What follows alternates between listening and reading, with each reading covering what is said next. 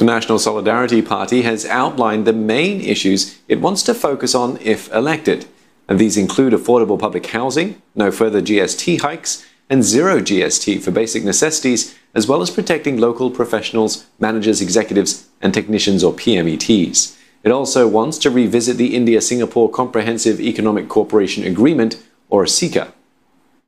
We are looking at ways to ensure local PMET have a level playing field for employment with the foreign talent brought about by CECA.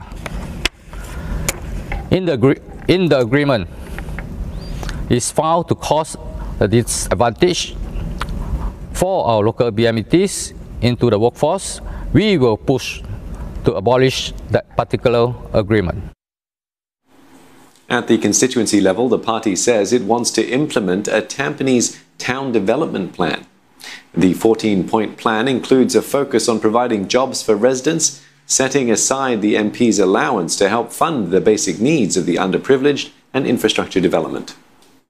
This may include more raised house for the visually impaired.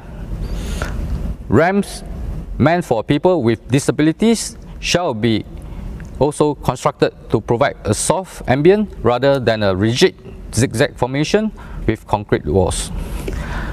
2.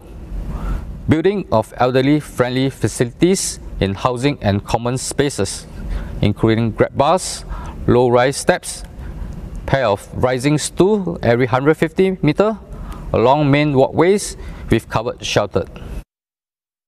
NSP thanks supporters in Tampines GRC who have stood by them all these years and called on residents to help them build a kampong spirit in the constituency.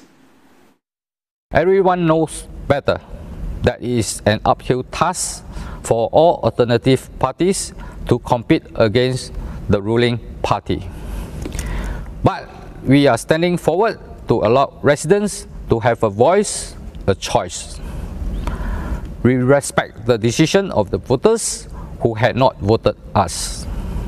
But we hope you can have a change of heart come polling day on 10 July.